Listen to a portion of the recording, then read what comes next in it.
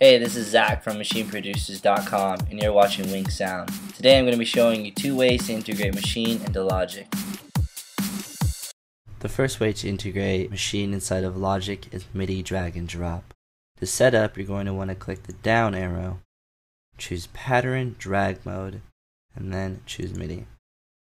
You're going to click the drag button once and Sound MIDI Batch Setup is going to pop up. Choose the Sounds to MIDI notes.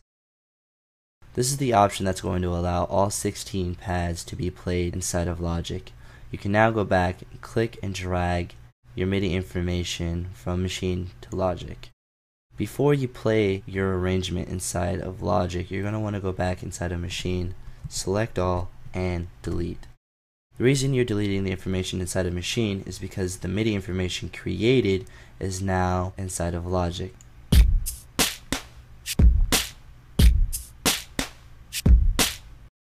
The second way to integrate Maschine into Logic is audio drag and drop.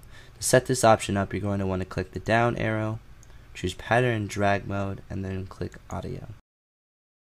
When you click the drag and drop button, you're going to want to leave your mouse button pressed down while Maschine converts all audio information to a WAV file. Now you're ready to drag into a new track inside of Logic. Before you start listening to your arrangement, delete all MIDI information this is because you don't want the MIDI information to now play with the wave information you've just created with Logic.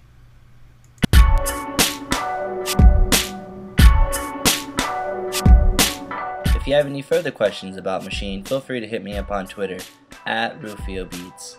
Join the conversation by following Wink Sound on Facebook, Twitter, and YouTube to keep up with everything you need to know about music and audio technology.